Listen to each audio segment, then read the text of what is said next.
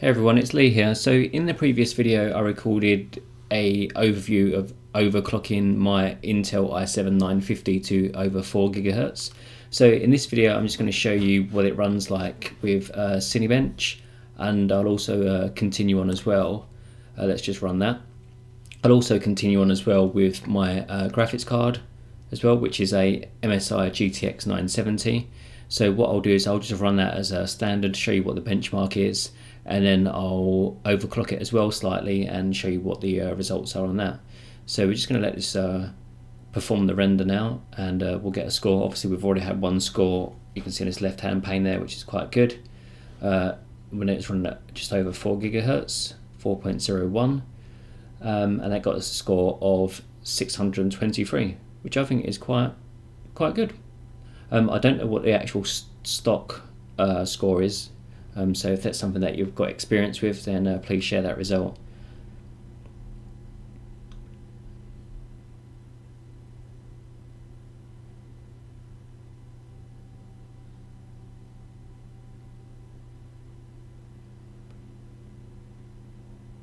Just let this finish off this last little bit. I'm not too sure if you can hear in the background the uh, CPU cooler whirring away. Okay, so we've just uh, run it for a second time. Uh, this one we've got 626 is the benchmark, so not bad. Um, okay, what I'm going to do now is I'm just going to run the benchmark for the uh, graphics card. Uh, I've done that once already, but I'll run it again just to show you. Then we'll come back, I will overclock the card and we'll compare.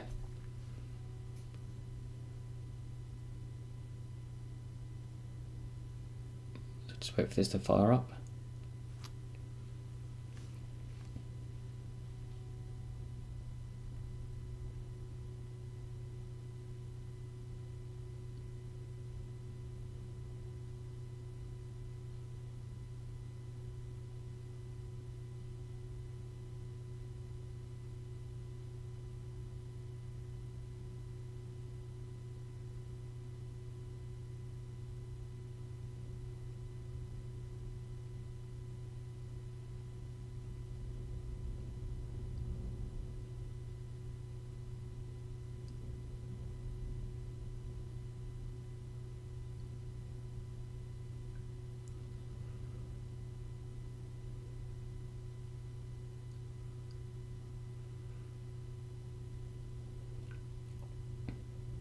Okay, so that's just finished. Um, you can see we've uh, compared against the previous benchmark which was on a little while earlier, so we've got 98.16. Um, so that's with the standard settings. Let's just open up the MSI Afterburner, which is really useful for overclocking your graphics card. Uh, I'll, what I'll do is I'll just put the power limit to 105 and I'll put the overclock. I'm not too sure whether it'll run stable, so I'm going to kind of be a, a little bit tepid. Um, and I'm going to run it at 175 additional. Uh, let's just see. The core clock doesn't go up, but I think the uh, it should. Uh, the core clock will go up once the actual application is started, but I think that will take us up to um, can't actually think what, what it actually is. We'll come back to it in a sec. We'll actually we'll look back at this after we've run the actual application, and then it will give us uh, what the result is. So yeah, we've just uh, overclocked the card. Let's hit run and see what we how it performs in comparison.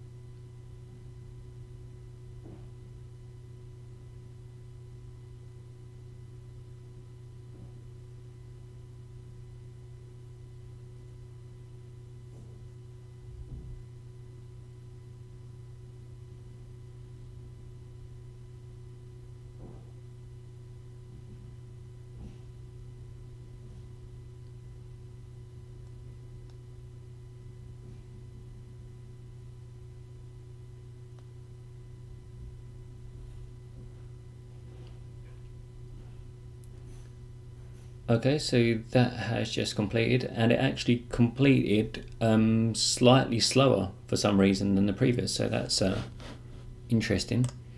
So let's just have a look at the uh, core clock. So the core clock was uh, twelve forty.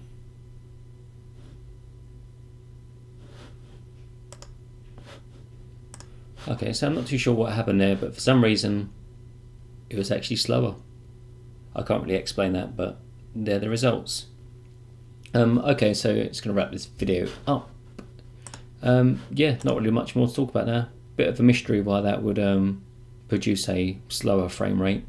I really can't explain it. Maybe it just didn't like the settings, or maybe it's causing some kind of like hardware glitch or crashing or something like that. Not too sure. Um, yeah, share your results, and uh, I'd like to see what you guys are getting. Okay, thanks for watching.